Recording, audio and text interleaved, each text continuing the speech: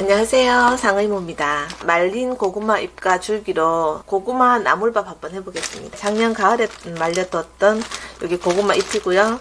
이건 고구마 줄기입니다. 제 영상 중에는 고구마 줄기와 잎을 말리는 영상이 있는데요.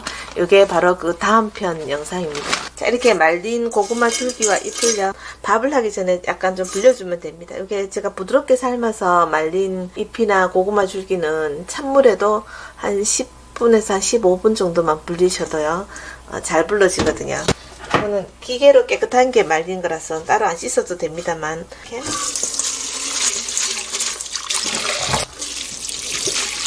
이렇게 찬물과 뜨거운 물을 이렇게 섞으시면 이게 좀 따뜻한 물이거든요. 그러면 조금 더 빨리 불어납니다.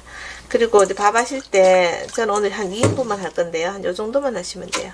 너무 많이 하시면 이게 이렇게 불려지면 이렇게 작은 줄기가 이렇게 커집니다. 불리면 이게 두 종이컵입니다.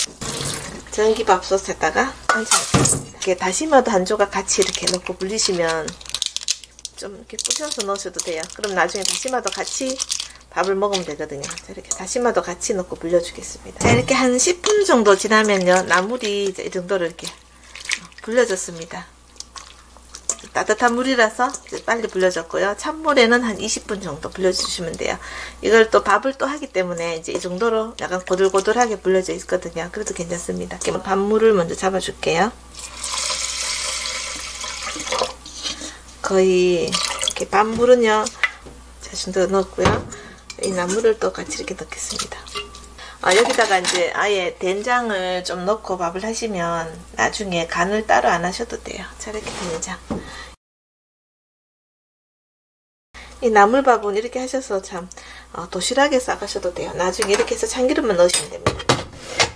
이런 나물밥 같은 거 하실 때요. 혹시 이렇게 천년조미료 같은 거 만들어 놓은 거 있으시면 더 한 스푼씩 넣으시면 더 맛있어집니다.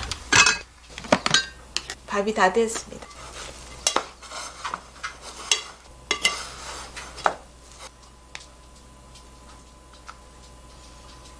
저는 오늘 어, 고구마 줄기를 사용했지만 혹시 집에 삶아서 말려놓은 나물 있으면 아니면 혹은 금방 삶아서 넣으셔도 돼요. 어느 나물밥이든 이런 식으로 하시면 됩니다. 고구마 나물밥이었습니다. 상의무였습니다. 참기름만 넣고 있죠. 비비시면 물김치와 뭐 국물 있으면 국물이랑 같이 이렇게 드시면 돼요.